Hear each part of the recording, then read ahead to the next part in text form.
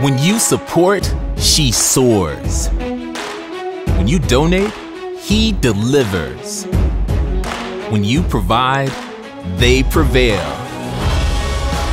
Since 1987, TAF members have lifted the minds, bodies, and spirits of LSU student athletes, making sure they have what they need to succeed in competition, the classroom, and in life.